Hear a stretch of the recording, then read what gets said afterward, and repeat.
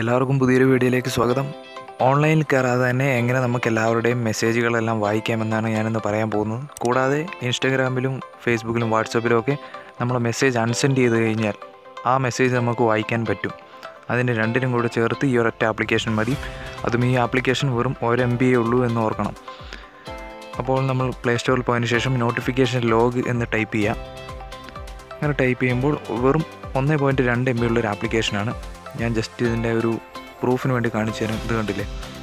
എല്ലാ നോട്ടിഫിക്കേഷനും നിങ്ങൾക്ക് ഇങ്ങനെ കാണാൻ സാധിക്കും. ഓരോ നോട്ടിനും തനി തനിയായിട്ട് എടുത്തു നോക്കാം.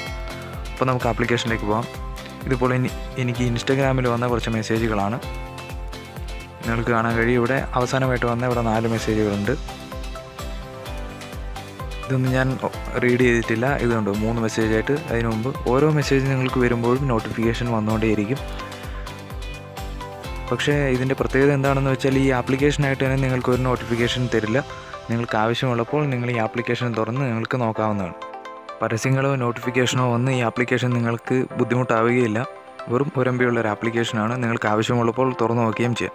ഇനി നമുക്ക് ജസ്റ്റ് ഒന്ന് ഇൻസ്റ്റാഗ്രാമിൽ പോയി കുറച്ച് മെസ്സേജുകൾ അൻസെൻഡ് ചെയ്ത് നോക്കാം. ഇതിപ്പോൾ നിങ്ങളവിടെ കണ്ട മെസ്സേജുകളാണ്. അതാ എനിക്കിവിടെ ഒരു സാധാരണ ടെക്സ്റ്റ് മെസ്സേജ് വന്നിട്ടുണ്ട്. ഇതിന്റെ നോട്ടിഫിക്കേഷൻ അവിടെ ഉണ്ടാവും. നമുക്ക് നോക്കാം. അപ്പോൾ ഈ ഞാൻ ഈ മെസ്സേജുകളൊക്കെ അൺസെൻഡ് ചെയ്യാണ്. ഈ അൺസെൻഡ് ചെയ്തതിന് ശേഷവും ഈ മെസ്സേജുകളൊക്കെ അവിടെ തന്നെ ഉണ്ടാവും. അതെങ്ങനെയാണ് നമുക്ക് നോക്കാം. ഓക്കെ. നിങ്ങൾക്ക് ഇവിടെ കാണാൻ സാധിക്കും. എനിക്കിപ്പോൾ വന്ന ആ ഒരു മെസ്സേജ് ടെക്സ്റ്റ് മെസ്സേജ് ഇവിടെ വന്നിട്ടുണ്ട്. അതും കാണാൻ സാധിക്കും. കൂടാതെ വാട്സപ്പ് ഫേസ്ബുക്ക് എല്ലാം. ഇത് നിങ്ങൾ കണ്ടില്ലേ? ഞാനിപ്പോൾ അൺസെൻഡ് ചെയ്താണ് ഈ മെസ്സേജുകളൊക്കെ. എന്നിട്ടും എനിക്കിതിവിടെ കാണാൻ സാധിക്കുന്നുണ്ട്. അതാണ് ഈ ഒരു ആപ്ലിക്കേഷന്റെ പ്രത്യേകത എന്ന് പറഞ്ഞാൽ നിങ്ങൾക്ക് കൺസെന്റ് ചെയ്ത മെസ്സേജുകളും വായിക്കാം. കൂടാതെ ഇതേപോലെ ഓൺലൈനിൽ കയറാതെ തന്നെ എല്ലാവരും അയച്ച മെസ്സേജുകളും വായിക്കാം.